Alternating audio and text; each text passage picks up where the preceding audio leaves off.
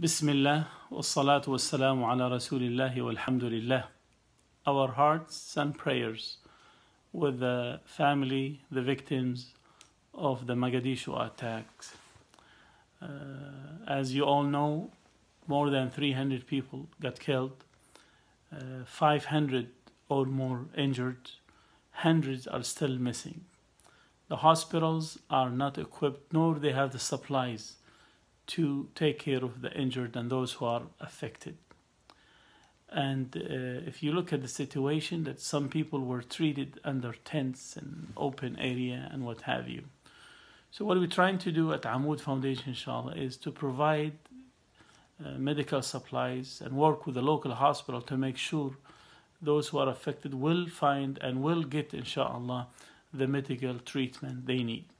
We have many families affected, and we want to make sure those families are being taken care of. And not to mention that a lot of kids lost their parents and became orphaned all of a sudden. They have no shelter to go, no place, and nobody to take care of them. So we want to make sure those orphans are sponsored. Alhamdulillah, the good news that we have some donors like you uh, were able to secure a two 40 foot containers of medical supplies. It worth more than $250,000. All what we need to do, my brothers and sisters, is to come up with the shipping and the handling for these two containers, which is roughly around $25,000. So I urge my brothers and sisters today, inshallah, to continue to show your kindness, your love uh, to our brothers and sisters throughout the world, inshallah.